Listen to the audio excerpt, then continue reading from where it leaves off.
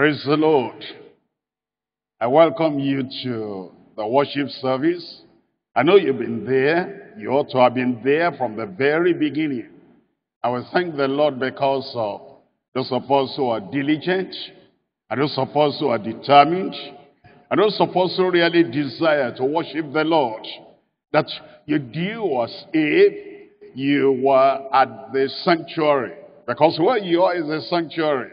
And you are worshiping the Lord with all your heart, all your soul, and all your mind. Worshiping the Lord in truth and in spirit. Once again, I appreciate that you are there. And the Lord himself will make his word enrich your life. And the grace of God will be in your life. And you will work on what you are hearing. You'll be the better for it in Jesus' name. We're praying together now. Father, we thank you for this worship.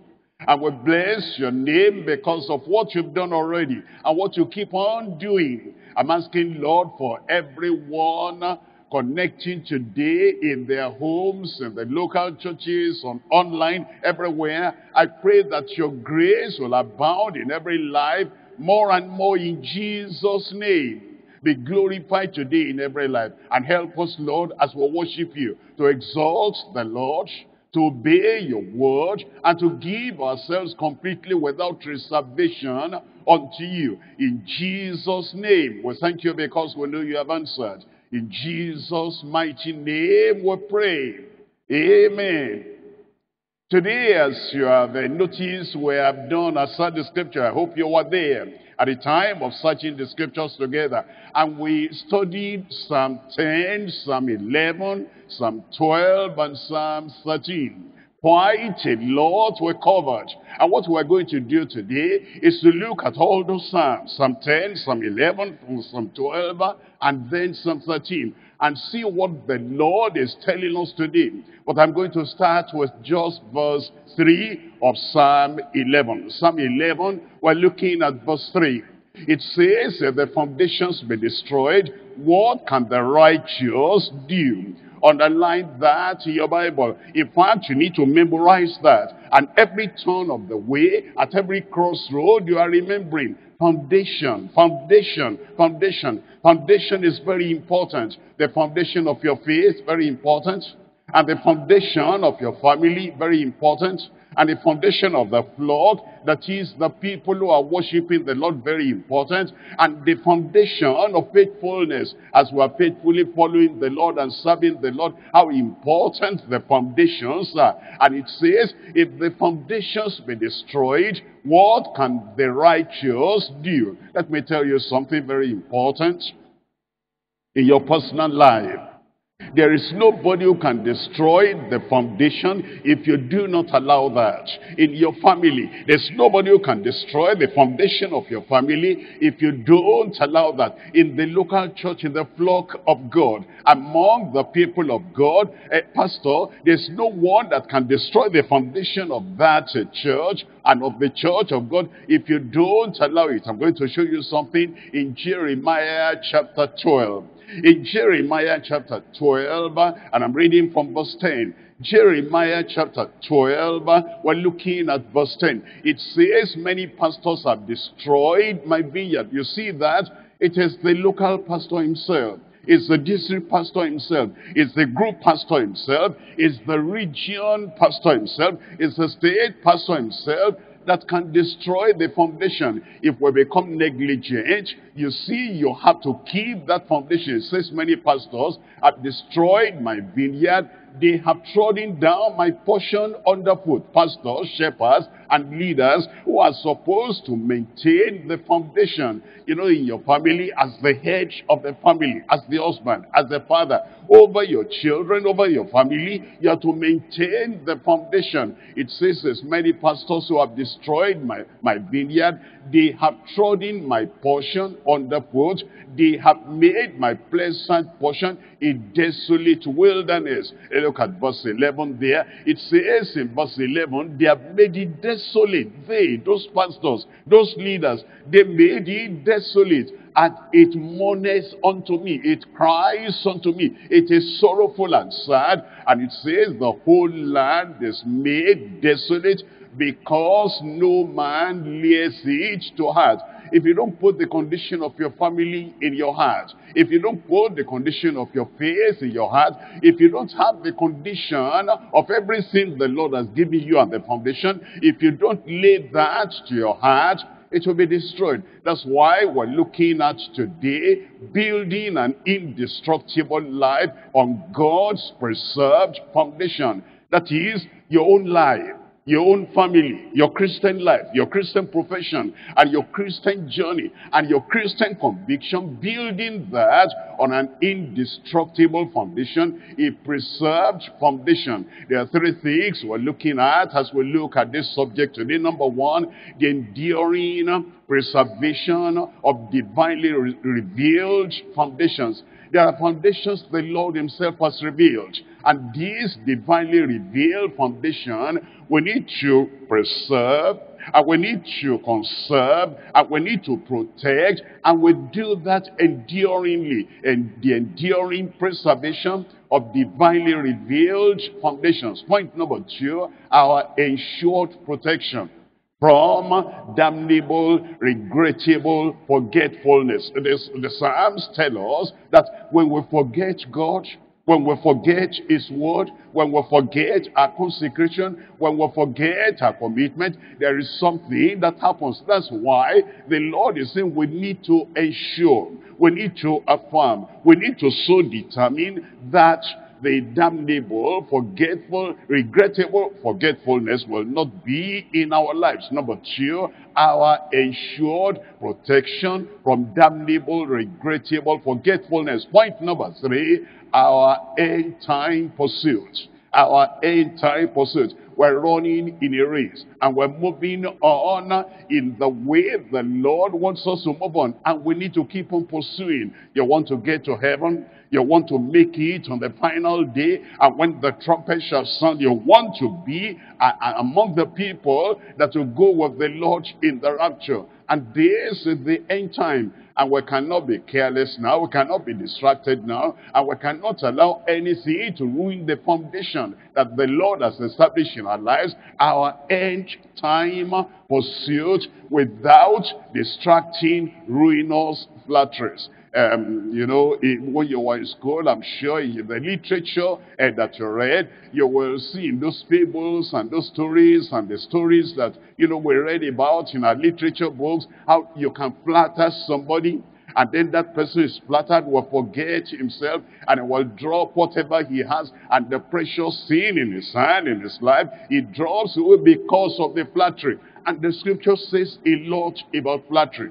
And it says, at this end time, while we're pursuing the goal, and we're reaching out, and we're aiming for, in what the Lord himself has put in our hands, we must not allow distracting, ruinous flatteries uh, to hinder us from being stable and being solid and being observant and being watchful in what the Lord has given us. Number three, then, our end time pursuit without distracting, ruinous flatteries. Let's come back to point number one.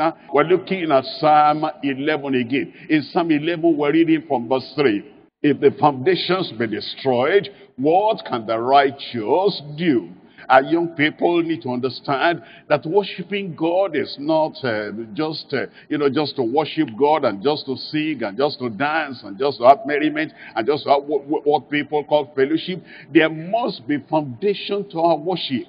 There must be foundation to our belief. There must be a foundation to salvation. There must be foundation in serving the Lord so that by the grace of God we'll get to heaven on the final day. And if the foundations be destroyed, there are many, uh, many children who are thinking, I don't like uh, the church where my parents are going.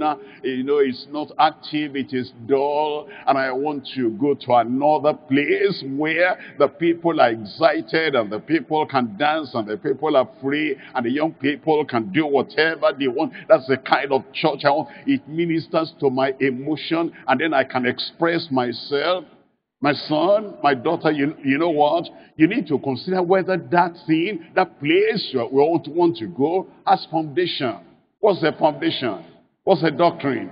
What's the teaching? Is it based on the Bible? Is it based on the Word of God? Or is it just to entertain the young people? If the foundations be destroyed, what can the righteous do? Look at verse 4. It says in verse 4, the Lord is in his holy temple. The Lord is in the holy temple. If the Lord in his, is in his temple, in the sanctuary, will he allow, will he permit, will he consent to the foundations being destroyed that all we do is superficial? All we do is emotional. All we do is just to satisfy the flesh. The Lord is in his holy temple. The Lord's throne is in heaven. And the foundation of heaven, the foundation of his throne is not eroded, it's not destroyed. In fact, when Lucifer wanted to destroy that foundation, the Lord drove him out with all the fallen angels. The Lord's throne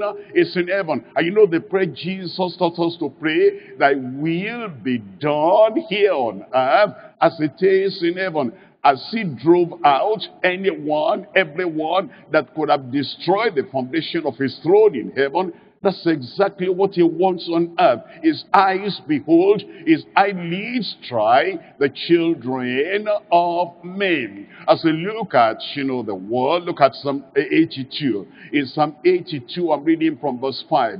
In Psalm 82 verse 5, it talks about the foundation of the world. Look at, you know, the, the people of the world. In fact, the world will tell you that things are not the same today as they were a century ago, a hundred years ago, or two thousand years ago. Why? Look at this, Psalm 82, reading from verse 5. They know not, neither will they understand. They walk on in darkness. All the foundations of the earth are out of course.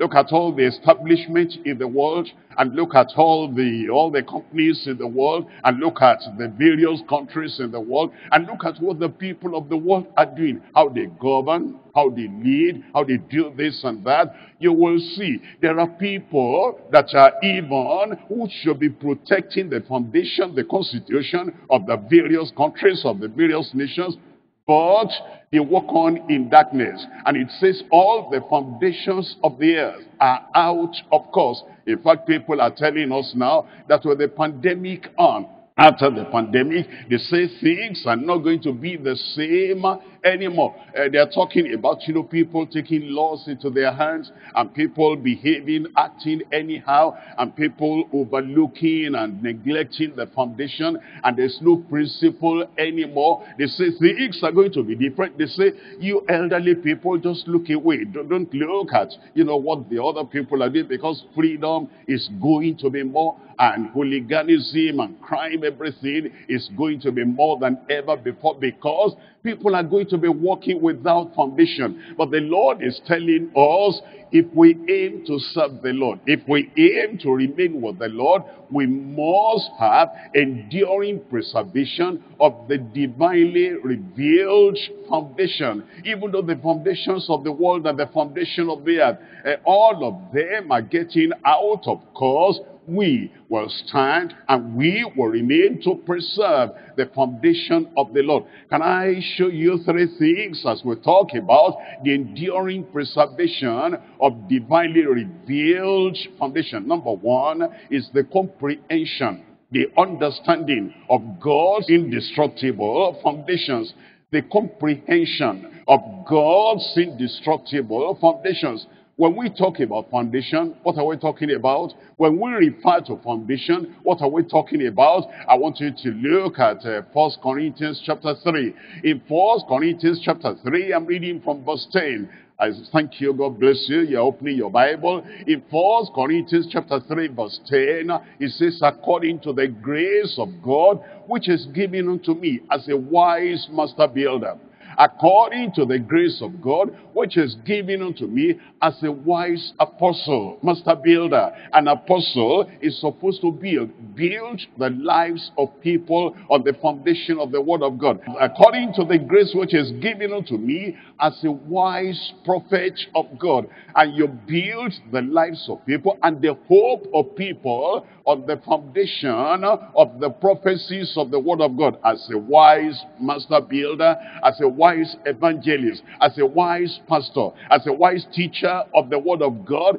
It says, I have laid the foundation. How can you evangelize without foundation? How can you be a pastor without foundation? How can you be a teacher of the word without foundation? It says, Paul the apostle says, Paul the prophet says, Paul the evangelist says, Paul the pastor teacher says, I have laid the foundation and another builders thereon. Another who comes in another generation, another who comes that is now called and is going to build, he doesn't tamper with the foundation. He builds thereon. He keeps the foundation intact, the foundation of faith. And the foundation of that faith once delivered unto the saints. He keeps everything intact and he builds thereon. And it says, let every man take it how he builds thereon. You know, you understand that? As you are building, don't touch the foundation. Don't destroy the foundation. Don't displace the foundation. Don't erode into the foundation. Keep the foundation as God has revealed it unto us. And then he says in verse 11, telling us about the foundation for other foundation. Can no man lay that that is laid, which is Jesus Christ. You know what he's saying? He's saying Jesus is our Savior, is the foundation of our salvation. Jesus is our sanctifier, is the foundation of our sanctification. Jesus is our healer and deliverer, is the foundation of our, our healing and our deliverance. You know there are people that go helter-skelter, they're looking for deliverance, and the things you see and the things you hear in those places where they say they have a deliverance ministry, it's actually, they bring in a little occultism, and they bring in a little bit of idolatry, and they bring whatever they bring, and their foundation is no more Christ. And they tell you a lot of things without telling you what Christ has done, and he has taken all our problems away, and it's the answer, it's the solution to all the problems we have. But Paul the apostle by the Spirit of God says, other foundation can no man lay. A, a preacher, no man lay any other foundation. An intercessor, no man will lay any other foundation. And he's, uh, he's a helper, he's a counselor, and he's a healer, he's a deliverance minister, and he's a preacher, he's a pastor. He's an overseer, a GO, or he's a superintendent, a GS. Nobody GS or GO or pastor or anyone, no man should lay any other foundation for other foundation can no man lay than that is laid, which is Jesus Christ. He says in verse 12, in verse 12 he says, Now if any man build upon this foundation gold, silver, precious stones, wood, hay, stubble, you understand? If any man, any man is like, another word is whosoever, whosoever, whosoever is going to build, let him preserve that foundation. Build on this foundation. There's no other foundation for salvation, sanctification, and for security, and for stability, and for steadfastness. There's no other foundation in worshiping God if any man, whatever the name, whatever the title, whatever the popularity in society, and whatever the religious uh, uh, cloud around him, around her, if anyone build upon this foundation, gold, silver, precious stone, wood, hay, stubble, as he continues, the fire of judgment will test everyone's building and ministry on that final day. I want you to look at Ephesians chapter 2. Ephesians chapter 2, we're reading from verse 12. In Ephesians chapter 2, verse 12, it says that at that time, ye were without Christ, being aliens from the commonwealth of Israel, when we are without Christ, or aliens, we are strangers to the commonwealth of Israel, to the covenant of God he made with his people were strangers. And it says from the super strangers, from the covenant of promise, having no hope, a person that has not come to Christ, he has not built on the foundation, he has not taken the foundation of faith and the foundation of salvation as Savior, he has no hope and is without God in the world. In verse 13, it says in verse 13, it says, But now in Christ, now that we've come away out of darkness into the light, we've come out of sin and come to the Savior. We've come from our past and we've come now to believing on the Lord Jesus Christ. But now in Christ Jesus,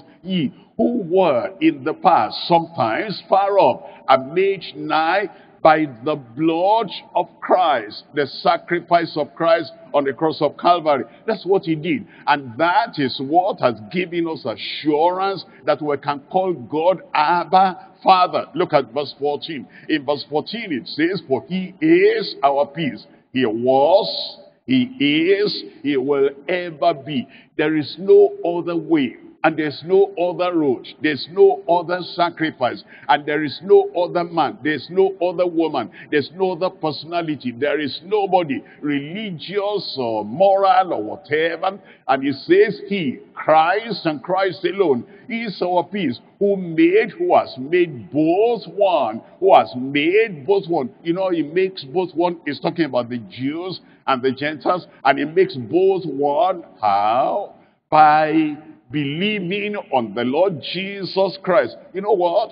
The Jew cannot say, I'm a Jew, and I believe in all these animal sacrifices, and I remain the way I am. And then you say you're a Christian, you believe on the Lord Jesus Christ, and Jesus Christ is making us one. No, not at all. Anyone that is going to be one with Christ, and one with the body of Christ, he will take that same road. A Jew, a Gentile, as somebody born in a religious house or is born outside religion, any religion, if we're going to be one, if there's going to be peace with God and peace with one another, we come through the same way, the same narrow way that leads to heaven, and the same way of repentance, the same way of abandoning the past, and the same way of abandoning tradition, the same way of abandoning everything of the past, and we come to Christ, and Christ now has broken down the middle wall of partition between us. In verse 15, it tells us,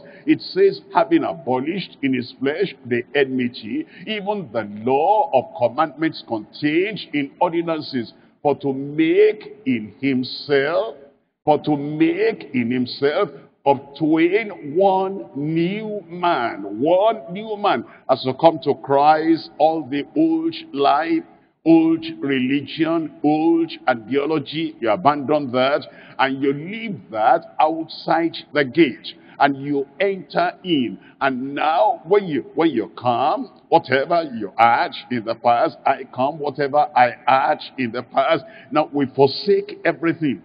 Sin, we forsake.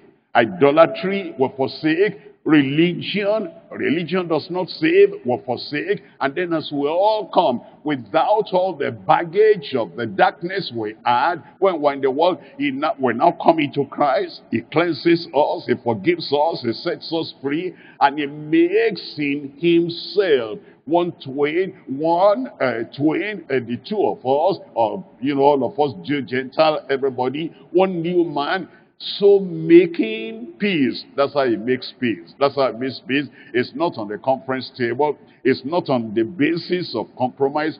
You leave the doctrine of Christ and then we are going to keep on to this and let's come together. And you leave the foundation and we come together. You have to sacrifice something. You sacrifice your conviction. You sacrifice the doctrine, you sacrifice Christ, and you give up the light, and you give up the Bible, and you give up strong conviction, because once you honestly contending for the faith once delivered unto the saints, then there'll be no peace. All that contention for the faith will not bring peace. No, you don't abandon the faith. You don't abandon the foundation. You abandon your old life. He abandons his old life. You abandon your old religion. He abandons his old religion. You say Christ is the way. Christ is the foundation. Christ is the Savior. Only through Christ can we get to heaven. That is the foundation. We need to comprehend. We need to understand. Uh, look at um, look at verse 20 there of that. Ephesians chapter 2 verse 20 it says, And we are built upon the foundation of the apostles and the prophets. Jesus Christ himself being the chief cornerstone. Jesus Christ himself is the chief cornerstone. It tells us in um, Hebrews chapter 6, and we're looking at verse 1. Hebrews chapter 6, verse 1. It says, Therefore, leaving the principles of the doctrine of Christ. Can I explain that to you? It doesn't say abandon the principles of the doctrine of Christ. What it's saying is have you completed your course, your studies on um, JSS 1? All right. Leave all that now. That one is settled. Now you can go to JSS 2. You leave what you have done. That one is settled. And that one is, uh, is, is abiding. All the knowledge you add there in JSS 1, you're still going to use in JSS 2. But you are not repeating and repeating and repeating JSS 1 all through your life. And when you go to university, you have already, um, you know, you finished the 100 level. And it says you can leave that now and go to the 200 level. That's what it's saying. It doesn't say abandon the 100 level. Everything you learned there, that one is secured all the knowledge is established and the foundation, the principle you have learned in uh, at a hundred level, you can now take all that, not repeating that every day, not repeating that same class every time, leaving the principles of the doctrine of Christ. Let us go on to perfection. Let's go higher. Let's build on now. Now he wants to explain what he's talking about, about the principle of the doctrine of Christ, not laying again the foundation of repentance from dead works, that one is settled, that's foundation. And of faith toward God, that one is settled, that's part of the foundation. And then in verse 2, it talks about, in verse 2, of the doctrine of baptisms, he that believeth and is baptized shall be saved.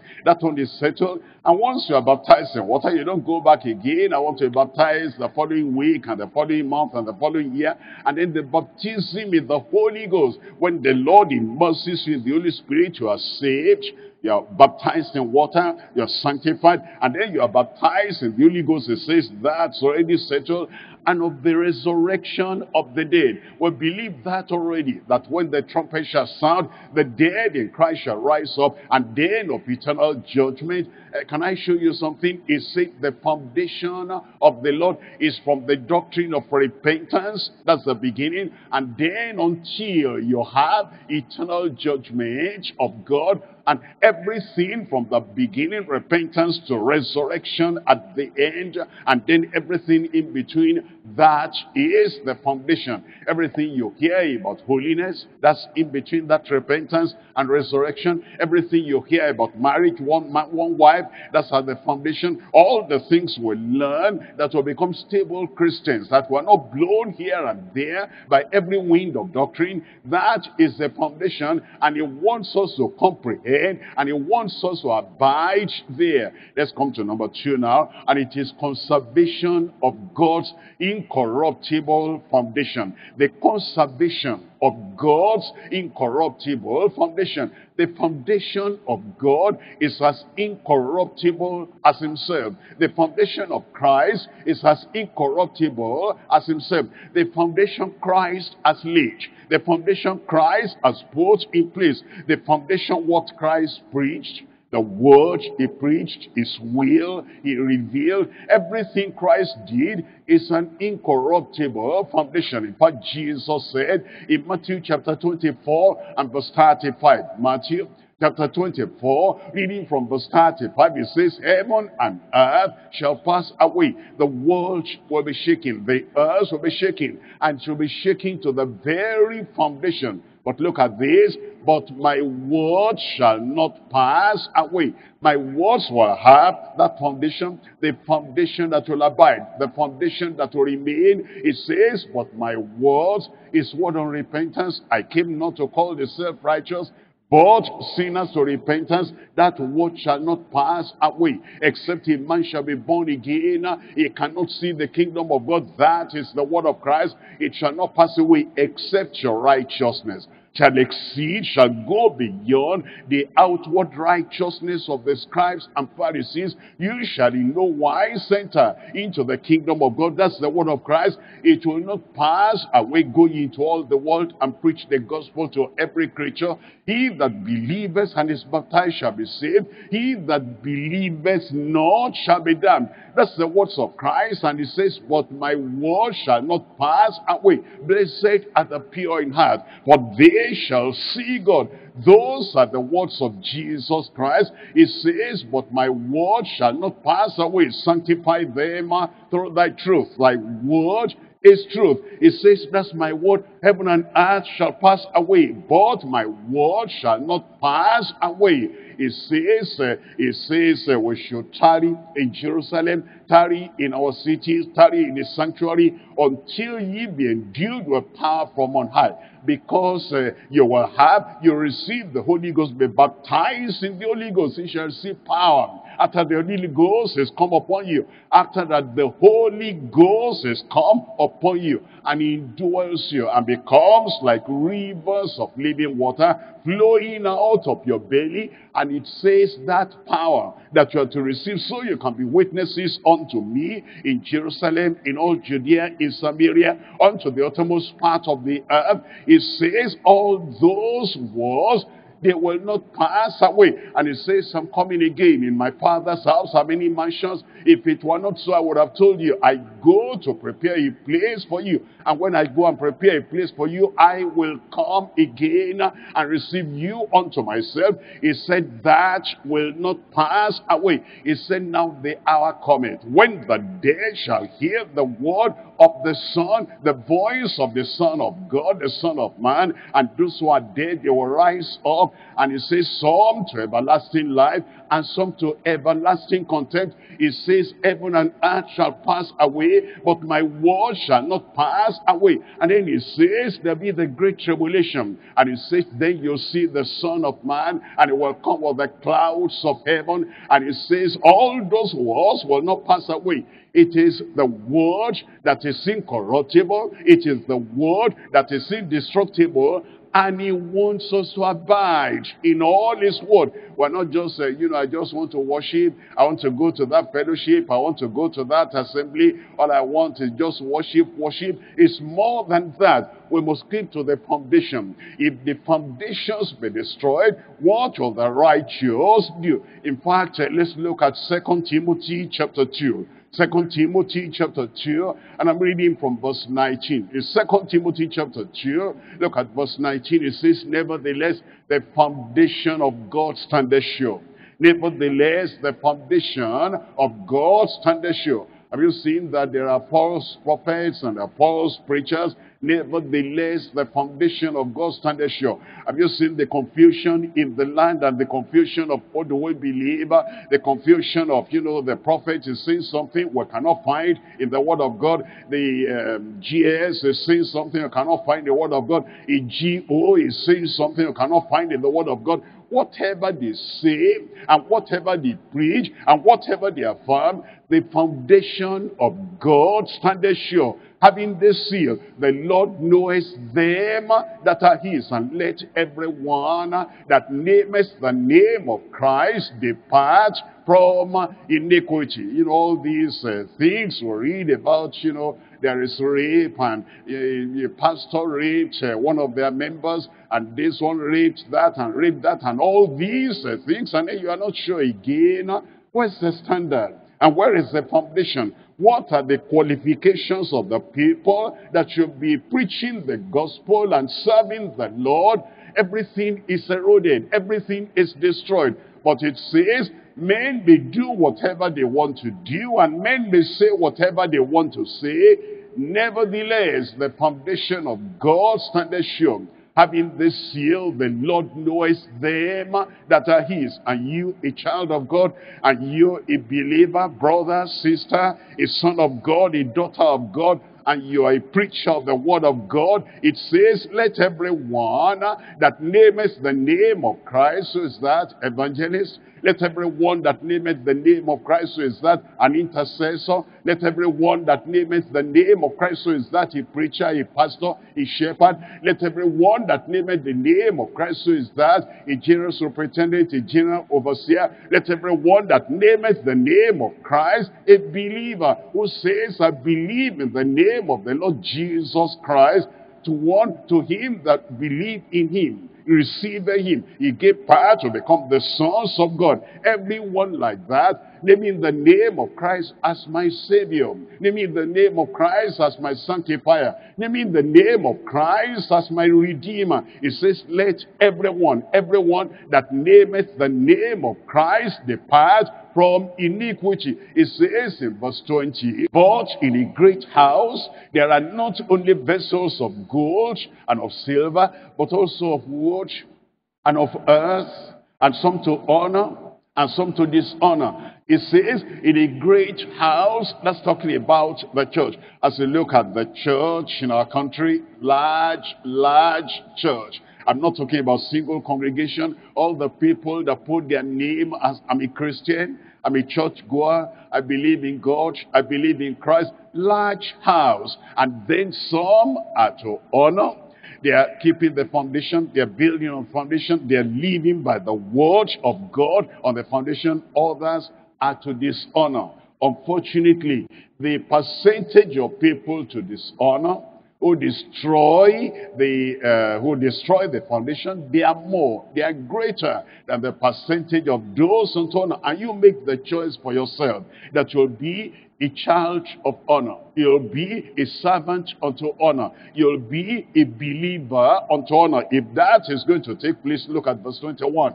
In verse 21 it says, If any man, if a man therefore purge himself from these, it shall be a vessel unto honor. The church, the choice is yours. That you will be a believer unto honor, a vessel unto honor, a servant unto honor. If a man therefore purge himself from these, it shall be a vessel unto honor, sanctified, and meet for the master's use, and prepared unto every good work. It says in verse 22, it says, flee also youthful laws, flee youthful laws. Uh, let me talk to our youth again, our young people. Uh, well, you know, you want to run to that assembly and run to that assembly because there's freedom there. Freedom to lust and freedom uh, to commit fornication and freedom to sin and freedom to do evil. That's not worshiping God. You are worshiping your flesh. You are worshiping uh, the, the idol of the land. But you know, if you're really going to build on the foundation, you want to get to heaven, and heaven is your goal, heaven is your focus, flee also youthful laws. And of course, uh, adult people too, because when David committed the sin of adultery committed, he wasn't a youth, he was, you know, advanced in age, he was already married and having children, and yet he had lost. And the Lord is saying every one of us, a man, a woman, a brother, a sister, a boy, a girl, flee also youthful laws, but follow righteousness, faith, charity, peace are with them that call on the Lord out of a pure heart, saved, out of a pure heart, sanctified, out of a pure heart, holy and righteous, out of a pure heart. And now we need to continue. We have seen the comprehension of God's indestructible foundation and we've seen the conservation of God's incorruptible foundation. Now we need to continue, continue. Number three now is continuation in God's irreplaceable foundation.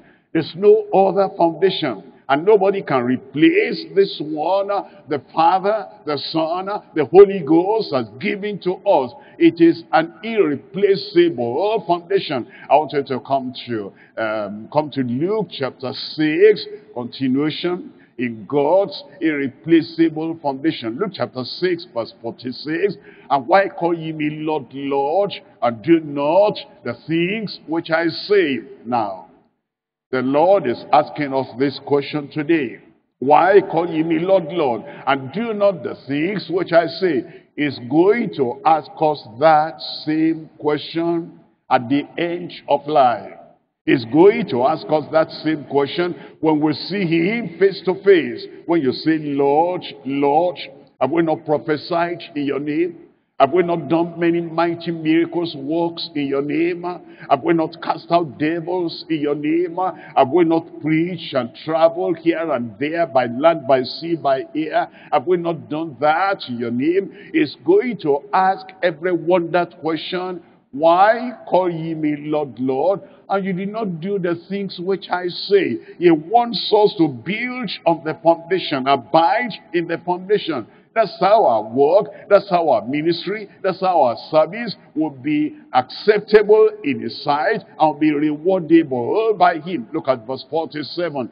It says in verse 47, Whosoever cometh to me and heareth my sayings and doeth them, he heareth, he doeth them. He heareth and doeth them. He listens and he doeth them. He understands and he doeth them. He readeth and he doeth them. I will show you to whom he is like. In verse 48, it says, and he is like a man which built an house, that is the house of his faith, the house of his worship the house of his devotion, the house of his service, the house of his family. That is, he built an house and he dig deep and laid the foundation on a rock. Upon this rock, I built my church, and the gates of hell cannot prevail against it. And it says, and the rock that followed them was Christ. That is the foundation. You're going to be saved. Christ is the foundation. Sanctified. Christ is the foundation. You're going to worship God, all right? Christ is the foundation. You're going to labor. You're going to serve. You're going to minister. Christ is the foundation. He laid the foundation on a rock. And when the flood arose and the steam beat vehemently upon that house, could not shake it because, for it was founded on a rock. It was built on that irreplaceable foundation. Look at verse 49. In verse 49, but he that heareth and doeth not, he, he reads the Bible, he doesn't obey. He must be born again, he doesn't obey. You must repent, he doesn't obey. Seek the Lord while he may be found. He doesn't obey. Let the wicked forsake his way. He heareth, he readeth, he, he doeth not. He is like a man without a foundation. How many people are just coming to the church? I've learned how to tie scarf. Is that foundation? I've learned how to, you know, do this and do that. I will just uh, join uh, the boss. We didn't start at the beginning of repentance at the beginning of salvation. The Spirit of God is not bearing witness in your heart that your sins are forgiven and the Lord has set you free by the sacrifice of Christ on the cross of Calvary. I just join, I just join. I don't smoke too much now like I used to. I don't drink too much now like I used to. I don't uh, visit this and visit that. But they are not born again. They have not received Christ as their, as their Lord and Savior. And they're just obeying, trying to obey externally uh, the, the doctrine of a church. He that heareth and doeth not, can you tell me the day you are born again? Can you tell me the time uh, the Spirit of God bore witness in your heart that your name is written uh, in the book of life in heaven. Can you tell me how Christ is alive in you? I'm crucified with Christ, nevertheless I live, yet not I, but Christ liveth in me. And the life which I now live, I live by the face of the Son of God, who died for me and gave himself for me. Do you have that definite experience, indisputable experience, undebatable experience of being born again. If you are not born again ah, and you are just building without the foundation of the new birth, without the foundation of salvation, you'll be surprised when it will become too late and you'll put your finger in your mouth and regret because you didn't build on the foundation. Because he that heareth and doeth not is like a man that without a foundation built an house upon the earth, against which the stream did beat vehemently, and immediately it fell, and the ruin of that house was great. I pray you will build and remain, abide on the foundation in Jesus' name. Give me a good amen. Amen for your life in Jesus' name. I come to point number two now. In point number two is our assured protection from uh, damnable, regrettable forgetfulness. Let's come back, come back to the Psalms. We're looking at Psalm 10, uh, and we're reading from verse 4 now. Psalm 10, uh, reading from verse 4. It says, The wicked, through the pride of his countenance, will not seek after God. Look at this. God is not in all his thoughts. God is not in all his thoughts. Whatever he's thinking, whatever he's planning, God is not part, uh, allow me to use the language, is not part of the equation.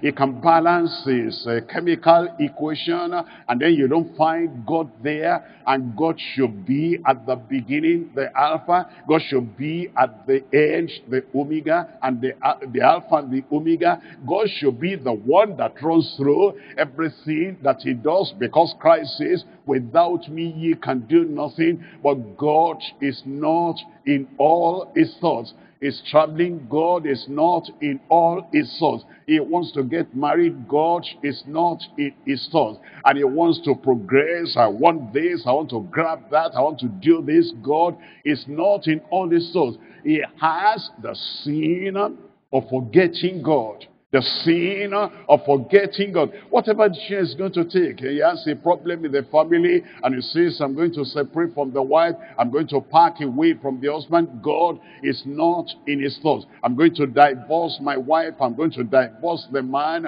and then goes to the court and they do this and tear the family apart. Hi, but God, God is not, is not involved with that. God is not in all his thoughts. As we forget God, as we don't think about God. And we claim we're Christians, we claim we're believers, we claim we're children of God. What's your foundation? If you say you're a child of God, what's your foundation? If you say you're a believer, what do you plan your life on? How do you run your life? How do you carry on your life? How do you make a decision? How do you move on in the ways and the things of the Lord? If God is not in all your thoughts, who is in your thoughts? And who is in your plan? And on what basis are you planning everything that you're doing? We need to ensure the protection we ought to have from damnable, regrettable forgetfulness. Look at Psalm 9, verse 17. Psalm 9, verse 17. The wicked shall be turned to hell, into hell, and all the nations that forget God. Look at that. It bundles them together. How, how is it that a whole nation and many nations that forget God shall be turned into hell. You see, it depends on the attitude of the people who are leading that nation. And then they say what's important is economy, what's important is, uh, you know, commerce, what's important is how to make gain, what's important is this and that. They don't think about heaven. They don't think about the future. They don't think about righteousness. They don't think about where will the citizens spend eternity. All that many governments are concerned about is what is it today we need to do to preserve this and to preserve everything it's about the economy. And we forget God. And it says the wicked shall be turned into hell and all nations that forget God. It tells us in Psalm 50 verse 22. Psalm 50, reading from verse 22. Now consider this. It says we need to consider and the Lord knows there are people that forget him. The people that do not think about who God is, what God wants, and what the final day of judgment will be. He knows there's a lot, a lot of people that live their lives without thinking about God. Now consider this. Ye that forget God, lest I tear you in pieces, and there be none to deliver. Ye that forget God, lest when the judgment day will come, the word of judgment will tear you in pieces and throw you into hellfire, and there'll be none to deliver as we think about this to ensure the protection we should have, we must have from damnable, regrettable forgetfulness. There are three things we're talking about. Number one, the inexcusable disposition of forgetting God. Just, that's the habit. That's the life. The disposition of forgetting God. Number two is the inescapable damnation for forgetting God. That if anybody forgets God, there's going to be a consequence on the final day. Uh, the people who concentrate all their lives, they concentrate all their thinking, they concentrate all their plan, and they concentrate all their pursuit on, I will make it, I must make it, success, and the development, and growth, and money, and business, and all that and they don't think about their salvation. There's the inescapable damnation for forgetting God. Number three is the inestimable decision against forgetting God. The inestimable is the decision of great value of the greatest value in your life. We're coming to number one, the inexcusable disposition of forgetting God. We're back to Psalm 10 and we're looking at verse 4. Psalm 10 verse 4, it says, The wicked through the pride of his countenance will not seek after God.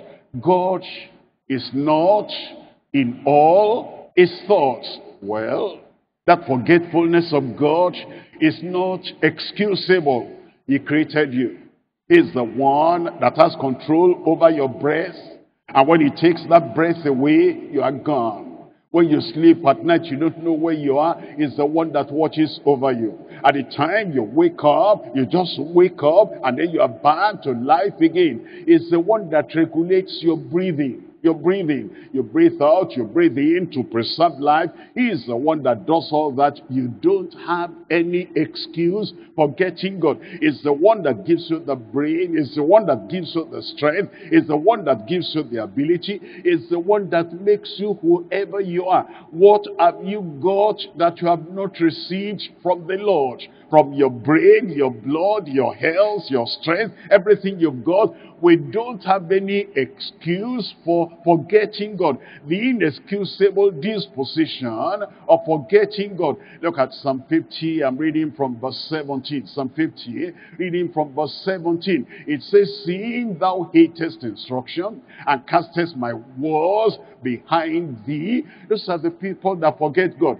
They cast the word of God, the commandment of God, the desires of God, and they cast all that God demands, they cast that behind them. In verse 18, it says, When thou sawest his thief, then thou contested with him, that he to agree with him, and has been partaker with adulterers. When you do that, of course you're forgetting God. You're forgetting the commandment of God. You're the one that will run errands for adulterer, to link up with adulteress. You're the one that will bring the prostitute unto your master. And you're the one that will be running all that kind of errand. And you only think, I want to keep my job. That's what madam wants. That's what uh, my boss wants. If I don't do it, I might lose my job and you forget God. You may not lose your job, you lose your soul. You may not lose your job, you lose the peace of God all throughout eternity. Look at verse 19. It says in verse 19, Thou givest thy mouth to evil, and thy tongue frameth deceit. In verse 20, it tells us, Thou sittest and speakest against thy brother, thou slanderest thine own brother's son. And then in verse 21, it tells us, These things hast thou done, and I kept silence. Thou thoughtest, you thought that I was altogether such an one as thyself. But I will reprove thee and set them in order before thine eyes. Now look at verse 22, the conclusion of all that is seen. Now consider this, ye that forget God, lest I tear you in pieces, and there be none to deliver the inexcusable disposition of forgetting God. And then let's come to and the second one now, the inescapable damnation, inescapable damnation for forgetting God when eventually you come to the judgment seat and you appear before the judgment throne and you see the creator of heaven and earth and for the first time uh, you are hearing about him. Because when you were here on earth you forgot his word you forgot his worship. And you forgot his adoration. You forgot his assignment. You forgot what he wanted you to do. You just live your life as if there were no God. You are like a practical, practicing atheist.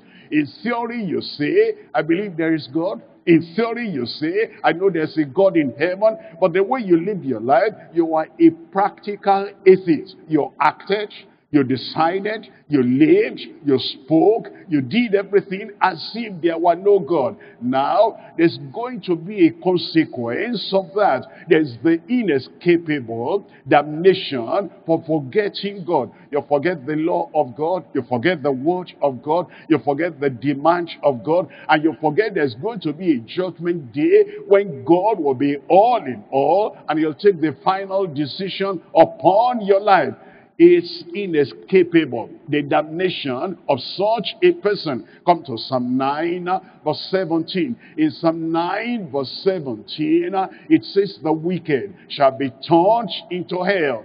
At that time there will be no argument. At that time there will be no power. At that time you'll be so paralyzed and you'll be so confused. What are you going to say? Would you say you didn't know there is God? You should have known. The heavens declare his glory and all the things that have been declared that there is a creator. But because of your wickedness, that's why you forgot God. And it says the wicked shall be turned into hell. Every one of them, young and old, they'll be turned into hell, and all the nations that forget God, all the nations that forget God. Look at Psalm 44, I'm reading from verse 20. Psalm 44 verse 20, if we have forgotten the name of our God, when we get sick, we forget the name of our God and we're running after idols and we're running after herbalists and we're running after one papa somewhere. We're running after prophets. We're running after everyone. We don't think about God when we have a problem when we're jobless and when we want to get married, we run here and there. We cannot talk to God, our creator, our redeemer. And it says, if we have forgotten the name of our God, or stretched out our hands to a strange God. Look at verse 21. It says in verse 21, Shall not God search this out? If we secretly go to herbalists, shall not God search this out? If we secretly go to uh, the traditional people, shall not God search this out?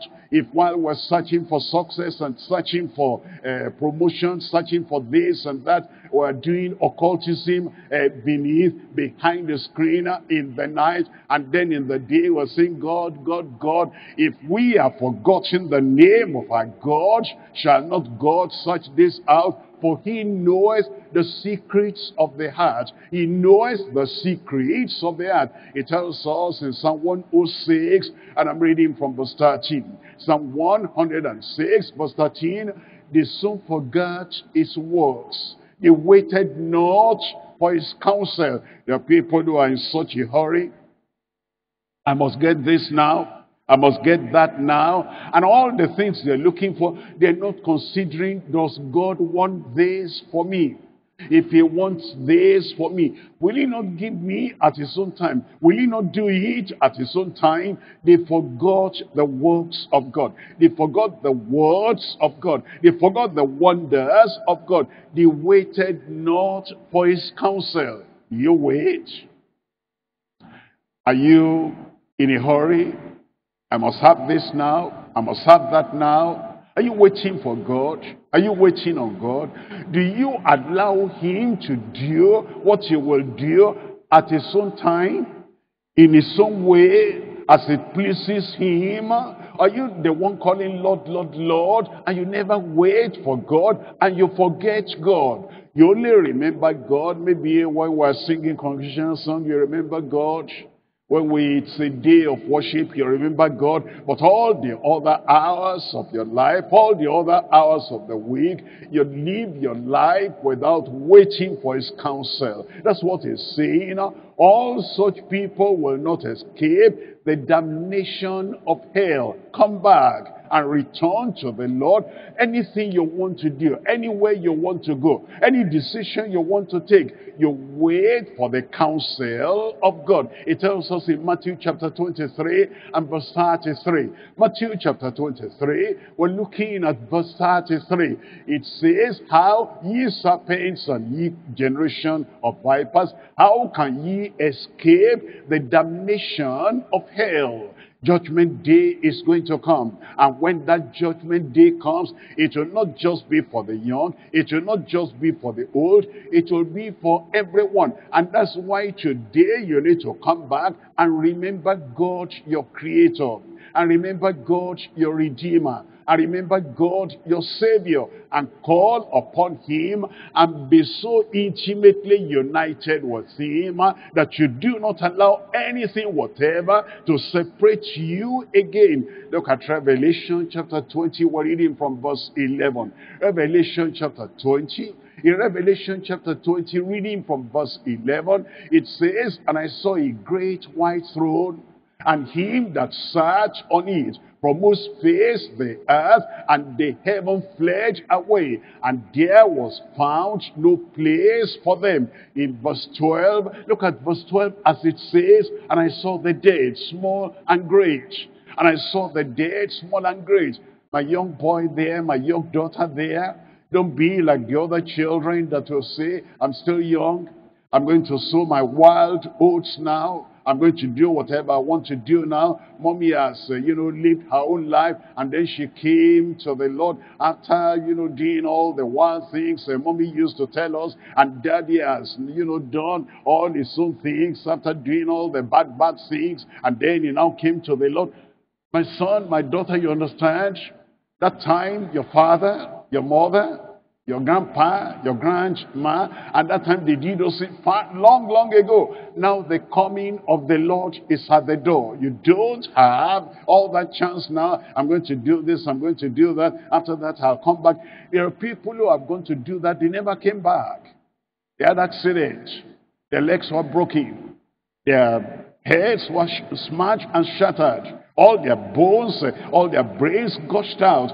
They had no chance to come back. Don't say, I'll do whatever. This is the time and the day of salvation. You cannot forget God and go scot-free. I saw the dead, small and great, stand before God, and the books were open. And after, and another book was opened, which is the book of life, and the dead were judged out of those things which were written in the books, according to their works. And then in verse 13, it says in verse 13, and the sea gave up the dead which were in it, and death and hell delivered up the dead which were in them, and they were judged, every man and they were judged every boy, and they were judged every girl, and they were judged every man, every woman, according to their works. You know, uh, there are people who serve the pastor, they are not serving God. If the, you know, when their pastors are around, they look straight, they look quiet, they look holy, and they look sanctimonious. But once the pastor is not there, it's like, uh, you know, those who are doing, uh, you know, the work outside, and when the supervisors are there, then they stand straight. When the supervisors are not there, they don't stand straight. Those people are not, they're hypocrites. And the people who are doing whatever they want, they don't understand. All their works are being recorded in the books of records. And they do whatever they want, and they are not thinking about God. It's only when, uh, you know, a pastor is around, it's only when a leader is around, then they shape up and they begin to do something as if they are righteous. All that is hypocrisy and deception. It says the final day of judgment will come and they were judged, everyone, according to their works. And then in verse 14, it says in verse 14, and death and hell were cast into the lake of fire. This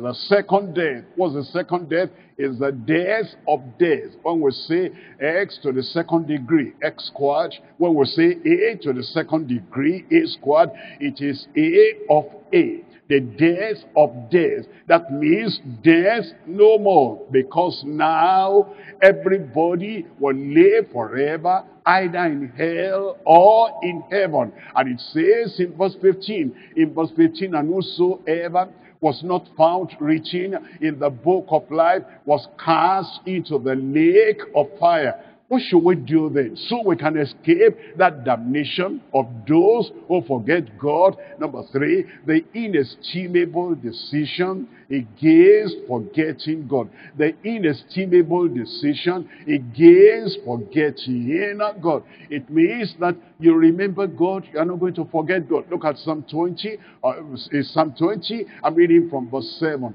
Psalm 20, reading from verse 7. Some trust in chariots and some in horses, but we will remember. We will remember I will remember. In times of trial, I will remember. In times of promotion, I will remember. In times of pain, I will remember. In times of a crossroad in my life, in your life, we will remember the name of the Lord our God. We will remember the name of the Lord our God. Look at verse 8. It says in verse 8, they are brought down and falling, but we are risen and we stand up. It tells us in Psalm 119, Psalm 119, look at verse 6. It says in Psalm 119, verse 6, and we need to remember God. And we must not forget God. We must not be among the people, I am saved, and so I can forget about that and forget about salvation and then go pursuing the world. It says in uh, Psalm, in Psalm 19, 119,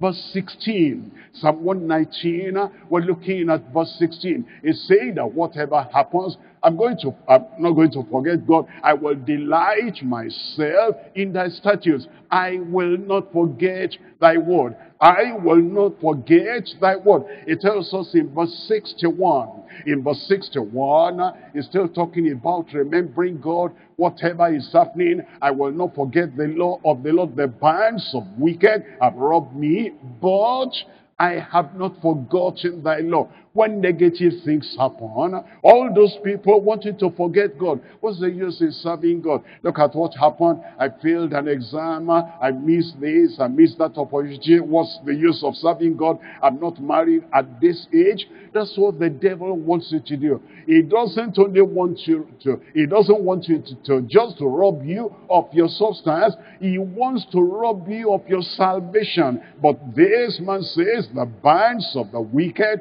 have robbed me, but I have not forgotten thy law. It says in verse 83, in verse 83, it says, I am become like a bottle in the smoke. You know, when you pass through the, a place where there's smoke, heavy smoke, you know what you breathe in, how you feel, and it says, I'm like a bottle in the smoke. Yet do I not forget thy statutes. I will not forget. In verse 93, in verse 93, he tells us again, he says, I will never forget thy precept. I will never forget that precept for wisdom that was quickened me. It says in uh, verse 109, uh, in verse 109, uh, it says, my soul is continually in my hand. It says there's danger. It says uh, there's insecurity, but all the same, it says, I do not forget thy law. And then it says in verse 141, Psalm 141, here's what he tells us now. He says, I am small and despised I am small and, and persecuted. I am belittled, I am put down, I am humiliated and despised. It says all the same, yet do I not forget that precepts. That's the decision we ought to make, and that's the decision you ought to make, that you remember God all the time.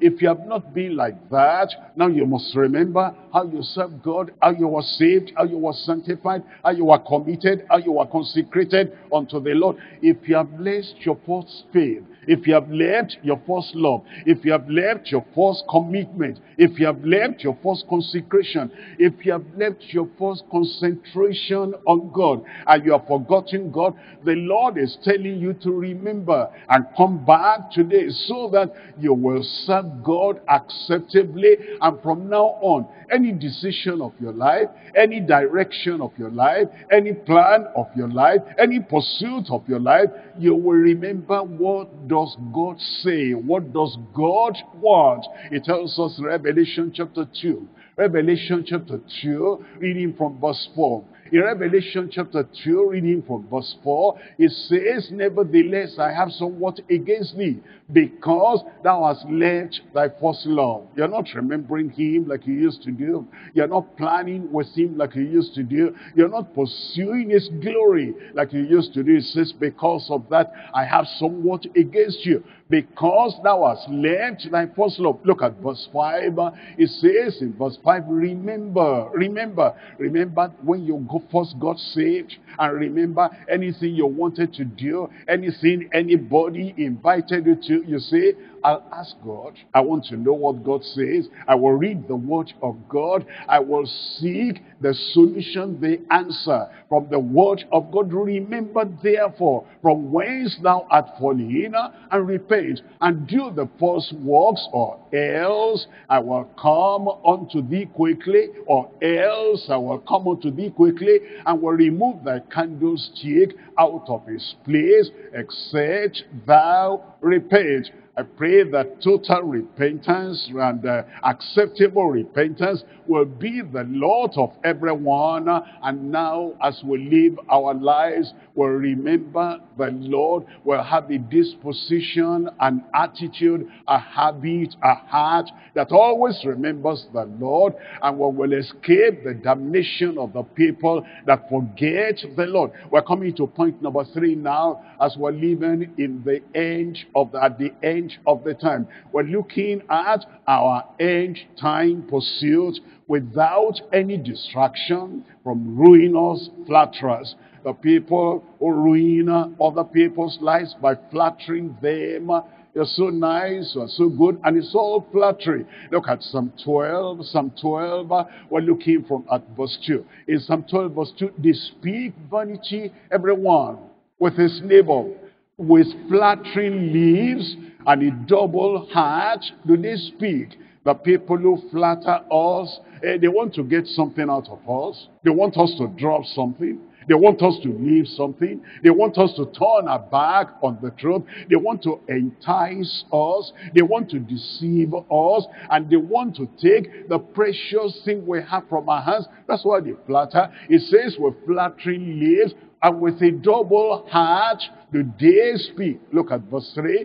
They say verse 3, the Lord shall cut off. It says, the Lord shall cut off all flattering lips and the tongue that speaketh proud things. In verse 4, these are the people who have said, with our tongue we will prevail with our tongue, sugar-coated tongue will prevail. With our tongue, bitterness in the tongue will, will prevail. With our tongue, violence in the tongue will, will prevail. Our lives are our own. Who is Lord over us? Look at Psalm 5 verse 9. In, in Psalm 5 verse 9, for there is no faithfulness in their mouth. There is no faithfulness in their mouth. The people who flatter, there's no faithfulness in their mouth. There's no truthfulness in their mouth. They want to get something out of you. They want to take the precious thing you have, your ticket to heaven. They want you to drop that. That's why they flatter you. There's no faithfulness in their mouth. Their inward part is very wickedness. Their throat is an open sepulchre. They flatter with their tongue. Beware of the flatterers. They flatter with their tongue. When a young man sees a young lady and then flatters you, you are the most beautiful one on earth, you are this and that, is is getting at something, is getting at you. He wants to take your heart away from where your heart is. They flatter with their tongue. It tells us in Psalm 36, and reading from verse 1. Psalm 36 verse 1, the transgression of the wicked says, within my heart, there is no fear of God before his eyes. In verse 2, it says, in verse 2, for he flattereth himself in his own eyes. They flatter other people and they flatter themselves until his iniquities be found to be hateful. And then in verse 3, it says in verse 3, the words of his mouth are iniquity and deceit, the flatterer, the words of his mouth are iniquity and deceit. He has let off to be wise. He has let off to, to do good. The one who flatters is not wise. The one who flatters, he knows what he's doing.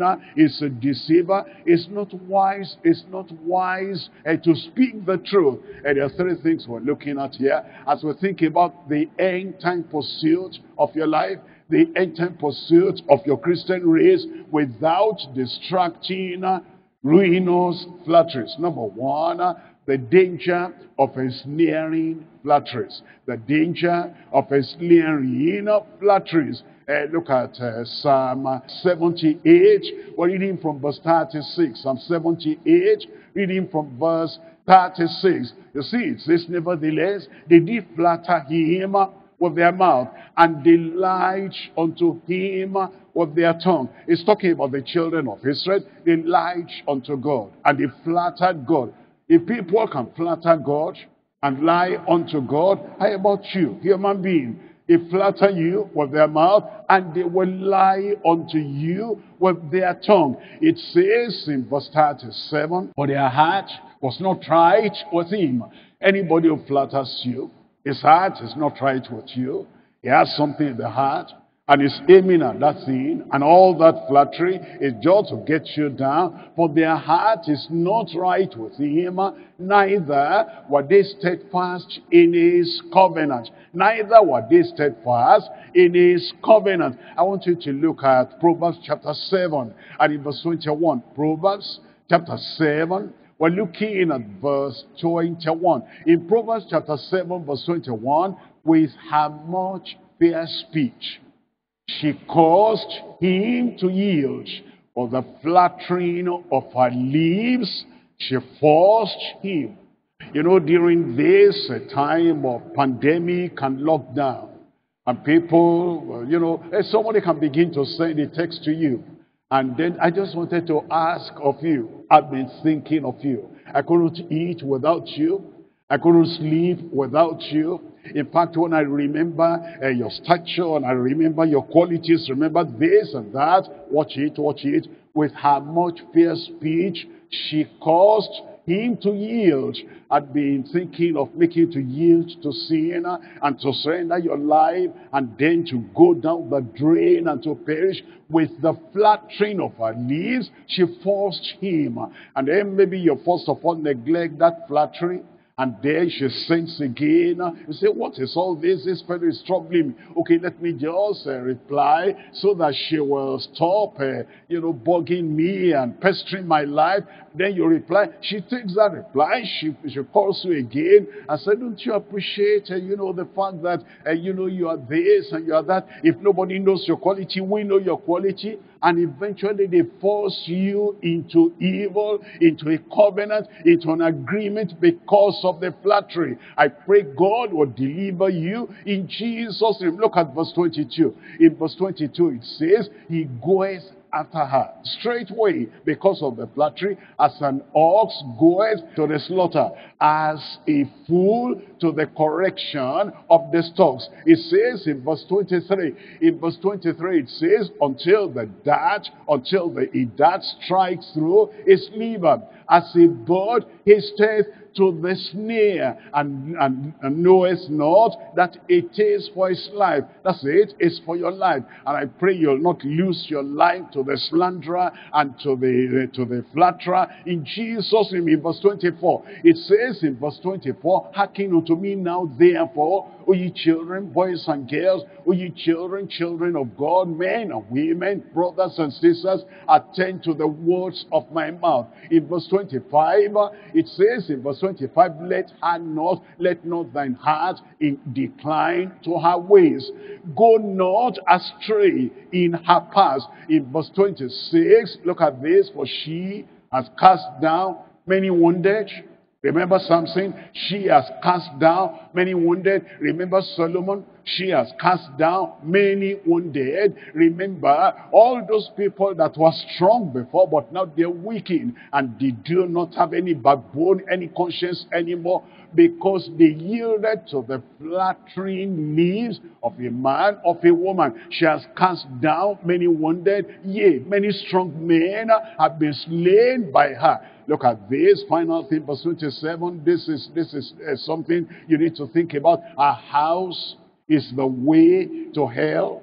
A house is the way to hell. A house a habitation or the hotel room where she leads you to or to the motel where, she, where he leads you to. That place is the way to hell going down to the chambers of death. There's danger in flattering. Look at number two now. The deception of enticing flatterers. The deception of enticing flatterers. We're looking at um, Psalm 5 and we're reading from verse 9. Psalm 5 verse 9. For there is no faithfulness in their mouth. Their inward part is very wickedness. Their throat is an open sepulchre.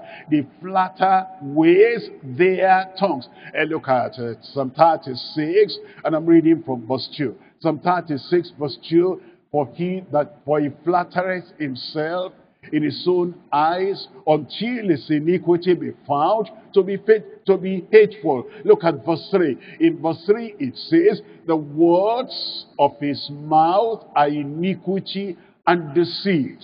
He has let up to be wise and to do good. And then in verse 4, it says in verse 4, he deviseth mischief upon his bed. He setteth himself in a way that is not good. He abhorreth not evil. He eschews not evil. He avoideth not evil. He flees not from evil. He pursues evil. In Psalm 10, uh, reading from verse 9. Psalm 10, reading from verse 9. He lies in wait secretly, the flatterer, as a lion in his den. He lies in wait to catch the poor, the flatterer. He wants to catch the poor, the one who is poor in knowledge, the one who is poor in vigilance, the one who is poor in spirituality, the one who is poor in steadfastness, and the one who is poor in substance is lying in wait, and he wants to use whatever bait, the flattery, he lies in wait to catch the poor. He does, he does catch the poor, when he draws him into his net. That's what the flatterer wants to do. It tells us in verse 10, in verse 10 it says, he crouches, he humbles himself. The, the, the flatterer will humble himself. There are religious flatterers. They will flatter you and they will say, a deeper life, oh, you are higher than we are. You know more than we know. You, you, you are, you know, students of the Bible, and then you are happy. And then they say, well, what can we say? Anything I chip in, I just chip in, but I know you're deeper life minister, deeper life member, and I cannot say anything before you. They humble themselves, and they are just to flatter you until you get into their net. It says, it's so that the poor may fall by his strong ones. It says in verse 11, in verse 11, he has said in his heart, God has forgotten. God is not overruling and God is not supervising. God is not seeing what we're doing, what we're saying. He hideth his face. He will never see it. That's, that's the deception of the flatterers. Actually, all the flatterers are the forerunners of the Antichrist. Note that all flatterers, especially religious flatterers, the people who will flatter, you know, you in religion, they are from the opposite side. They say, you know what? We are not Christians. We are not Bible believers. We are not Bible people. But you know, we respect you. We love you. We honor you. And we know, we know what you stand for. Don't think because we are not in church with you that we don't know your value. We don't know your honor. It's all flattery. It's all flattery. They want you because after they have flattered you, you cannot speak against them. After you have, they have flattered you, you cannot bring out their false doctrine, and you cannot bring out their evil ways, and you cannot bring out their dangerous, damnable, pernicious ways anymore. That's why they flatter. And the flatterers are the forerunners of the Antichrist. Look at what the Antichrist will do. We're looking at uh, Daniel chapter 11 verse 21. In Daniel chapter 11 verse 21, in his estate shall stand up a vile person to whom they shall not give the honor of the kingdom. But look at this, he shall come in peaceably and obtain the kingdom by flatteries. That's the Antichrist, not the Antichrist. He will obtain the kingdom by flatteries. And flatterers today, denominational flatterers, religious flatterers, and all those uh, popular flatterers, they are Antichrist uh, forerunners and they, they are running before the Antichrist and they're taking the nature of the Antichrist. Beware. Don't let anybody flatter you into false doctrine. You know, sometimes, uh, you know, there are some people, you're in deeper life and you're having some time of discouragement. This is not working. This is not working. And when somebody yields to uh, discouragement like that, you say, I don't think I want to go to, uh, you know, church today. Uh, but I'm still going to go somewhere. Then you go to another place and they spot you out. They say, that's a deeper life man. That's a deeper life a woman. After the service, they come to you and they say, welcome. We appreciate you. Are you not from deeper life? Yes, I am. Well, and you came here today not accidentally. Actually, we have been praying that God will give us somebody who will lead us, who will teach us. And we know you have the word, but there are too many people in that deeper life. Why don't you come here? And as they flatter you, and they tell you that, you know, you came not by accident, then you stay there all those forerunners of the Antichrist, they have caught you. I pray they'll never catch you in Jesus' name. I said they will not catch you in Jesus' name. Look at that Daniel chapter 11 verse 32. In Daniel chapter 11 verse 32, and such as do wickedly against the covenant shall he the Antichrist corrupt by flatteries. Corrupt by flatteries. Corrupt by flatteries.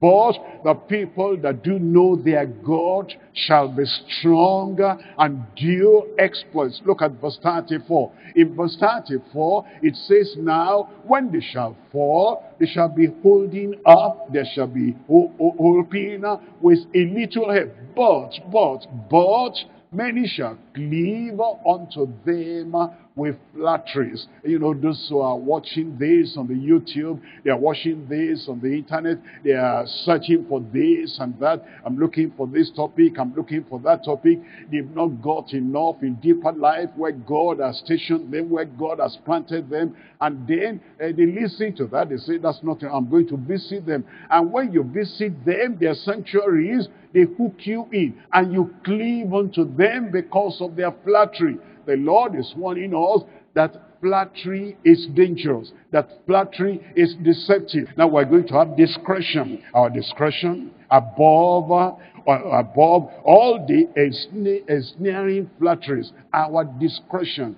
We're going to have discretion. You'll have discretion in Jesus' name. Discretion, that means that you think about your life and you think about what you ought to be and what you ought to do. And you have discretion above all the endangering flatteries. In Psalm 112, we're coming to verse 5. A good man showeth favor.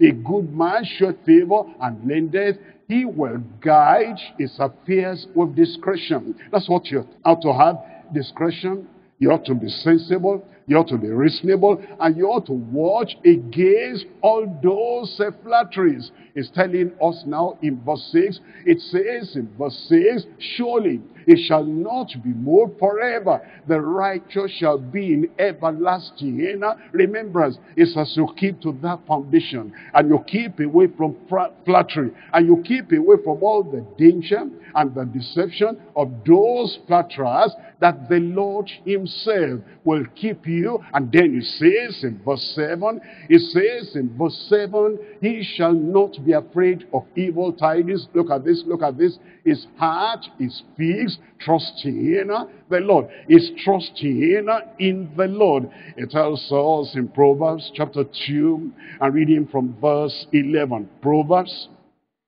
chapter 2, we're reading from verse 11. It says, discretion shall preserve thee. While the flatterers are flattering, while the people that forget God, they're living their lives according to the pattern they want to live without remembering God, you will be discreet. You'll be diligent. You'll be watchful on the word of God. Discretion shall preserve thee. Understanding shall keep thee. It tells us in verse 12, it says in verse 12, 12, to deliver thee from the way of the evil man, to deliver you from the way of the evil woman, to deliver you from the way of the evil uh, uh, of the evil flatterer, from the man that speaketh forward things. And then it says in verse 13, in verse 13, it says, who leave the paths of uprightness to walk in the way of darkness. Look at verse 16 there. In verse 16, it says,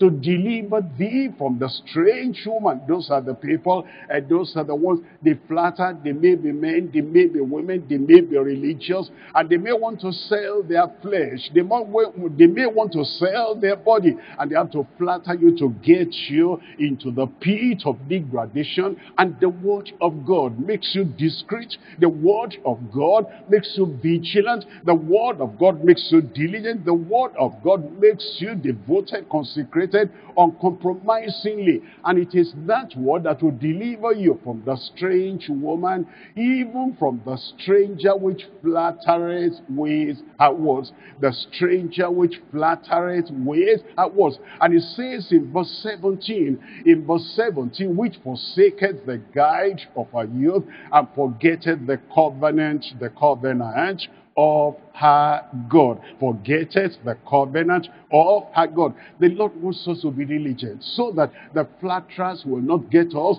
the flatterers will not catch us. It says in Hebrews chapter 12, reading from verse 15. Hebrews chapter 12, we're looking at verse 15. He wants us, after he has reminded us that we shall follow peace with all men and holiness without which no man shall save the Lord. He says, looking diligently, lest any man man feel of the grace of God. Lest any root of bitterness, any root of selfishness, any root of sinfulness, any root of evil, any root of backsliding, any root of falling away from the faith, lest any root of bitterness springing up trouble you, and thereby many be defiled. What are we to do now? Look at verse 28. In verse 28 it says, Wherefore we receiving a kingdom which cannot be moved. Those who are standing firm on the foundation and those who are standing firm on this indestructible foundation,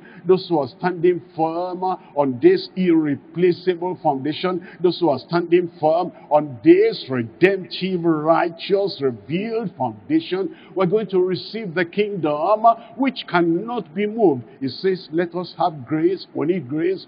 Grace for salvation and grace for sanctification, grace for the power of God, grace for the peace of God to abide in us, and grace for the purity of heart, and grace for the power of God, and grace for the service of God. It says we're receiving a kingdom which cannot be moved. Let us have the grace whereby we may serve God acceptably and with reverence and godly fear. That's what the Lord is calling us. The Lord is coming. And because of the challenge of the Lord coming, we need to abide in the truth, abide in the way, and abide in the word. It tells us in 2 Peter chapter 3, 2 Peter chapter 3, and reading from verse 11, it says, See then that all these things shall be dissolved. What manner of persons ought ye to be in all holy conversation and godliness? Now that we have seen uh, the foundation being eroded,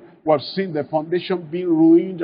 We have seen the foundation being displaced. We have seen the foundation being destroyed. And he wants us to keep that foundation and keep to that foundation. And he tells us of the damnation, of the danger, of the deceitfulness of the people that are flattering, that are going to destroy foundation. Seeing then that all these things shall be dissolved. What manner of persons ought ye to be in all holy conversation and godliness? Then in verse 12, uh, it says in verse 12, looking for and hastening unto the coming of the day of God, wherein the heavens being on fire shall be dissolved, and the elements shall melt with fervent heat. All the things people are gathering together today, and then they are forsaking the foundation, they are forsaking salvation, they are forsaking holiness, they are forsaking the pursuit of the kingdom of God. It says all those things shall be melted away like elements. And then in verse 13, uh, it says in verse 13, nevertheless, we, according to his promise, look for new heavens and a new earth, wherein dwelleth righteousness. Then in verse 14, it says in verse 14, uh, wherefore, beloved, seeing that ye look for such things, be diligent, that's our discretion, be diligent, that's our watchfulness, be diligent, that's what we're looking at. It says, be diligent, that ye will be found, may be found of him in peace, without spot and without blame. Without spot and blameless. Get saved and remain free from sin and be sanctified and be purified and be without spot, without wrinkle, and without blame, waiting for the coming of the Lord, because the trumpet shall sound, and the dead in Christ shall rise, and we which are alive shall be raised up together with them to be with the Lord, and so shall we ever be with the Lord, and so shall you ever be with the Lord, and so shall I ever be with the Lord, and so shall the saints of God ever be with the Lord. But make sure that the foundation still remains intact Make sure that you are not forgetting God and make sure you are not yielding to the force and to the pressure and to the sweetness of mouth of the flatterers. And God will keep you faithful until that final day in Jesus' name. We need to rise up now and pray unto the Lord. We need to rise up now and pray unto the, that the Lord himself, the Lord himself will keep us faithful. The Lord himself will help us so that all the things that are happening in these last days and days last time will not sweep us away from our ground where we stand. Tell the Lord, oh Lord, I've seen that the foundation is very important.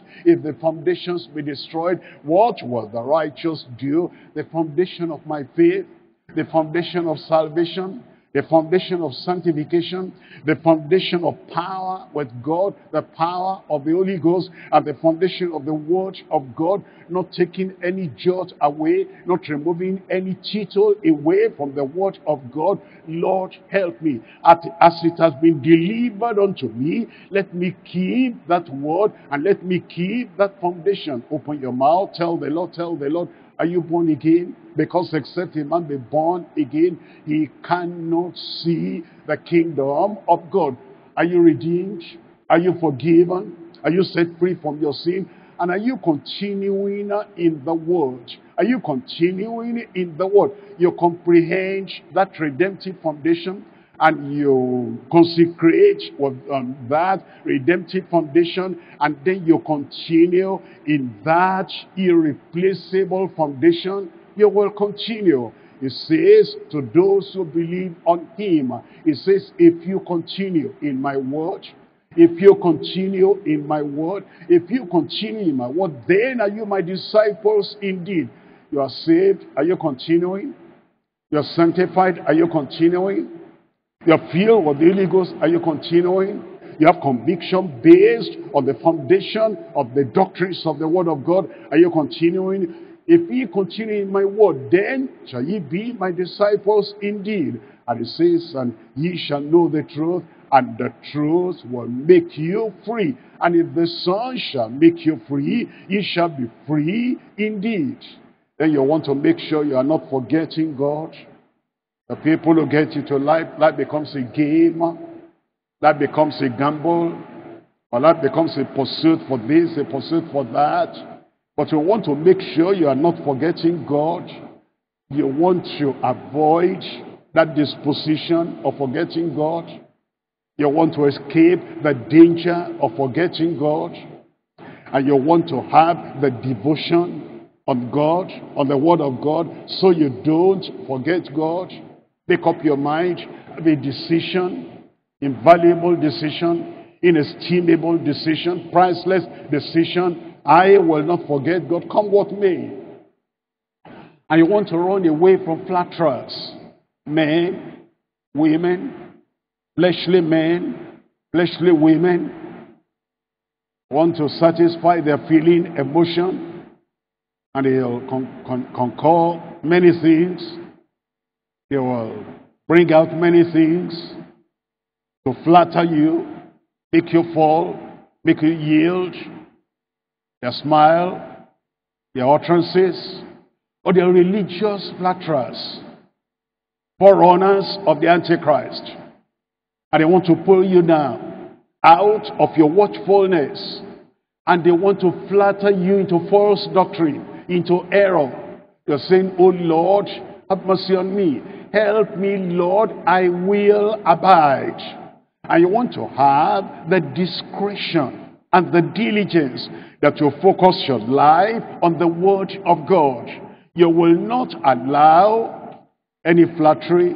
You'll not allow any kind of sweet mouth of an antichrist to sway you and to sweep you off your feet. You want to stand firm until the very end. You know what Jesus said? He that endures to the end, the same shall be saved. And I pray you'll be the man, you'll be the woman, you'll be the believer, the boy, the girl that abides in the truth. And the flatterers will not sway you up, sweep you off your feet. You will stand. You will stand. It is grace, in His word, in His truth, in His power, you will stand. And your Christian faith will be the priority of your life. And you keep to that until the very end.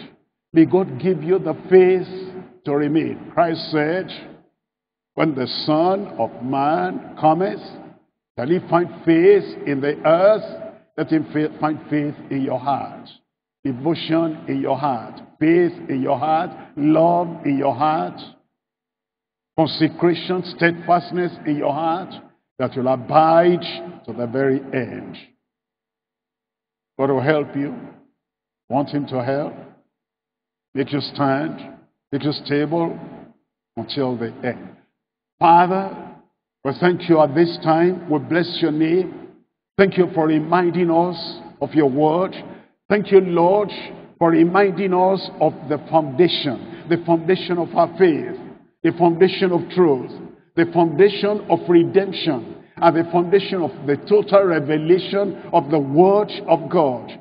Thank you, Lord, for giving us a deeper understanding comprehension today Thank you, Lord, because you have given us the commitment now. We're going to continue in this redemptive, irreplaceable, indestructible foundation. We'll base our lives, we'll base everything we do on the foundation of the truth of your word in Jesus' name. Lord, we pray we will never be guilty of forgetting you.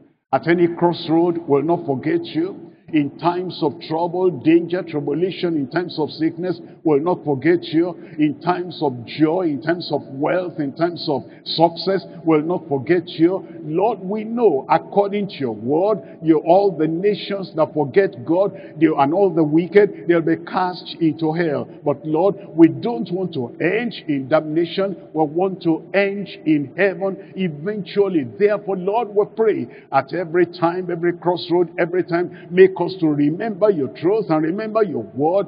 When temptations come, when trials come, we'll remember your word and stand firm in your word every moment until the end in Jesus' name. We pray, Lord, as the flatterers are scattered all over the world, in every street, on the YouTube, and on the internet, everywhere, religious the flatterers and the fleshly flatterers and the people that want to suck out uh, the, the good thing that we have. Oh Lord, we're praying that you will deliver us and keep us and protect us from all those flatterers, whether they are men or they are women, whether they are boys or they are girls, whether they are religious preachers or whoever they are, preserve us and protect us from all those flatterers in Jesus' name.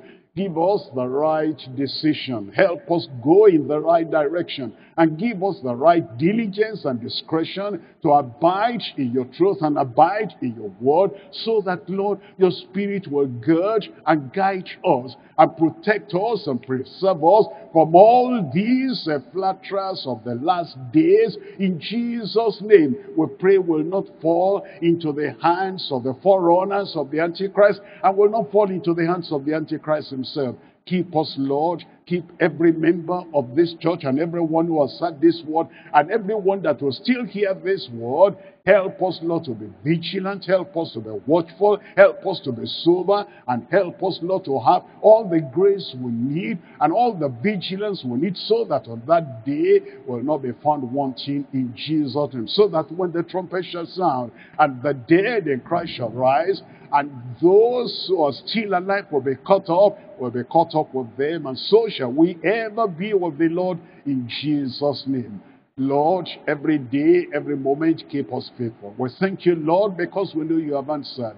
And we know that you are going to be faithful to your word as we remain steadfast in the faith in Jesus' name. We thank you, Lord, for everything. In Jesus' name we pray.